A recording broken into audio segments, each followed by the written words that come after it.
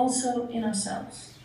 Everybody has different content because we all have a different perception. Within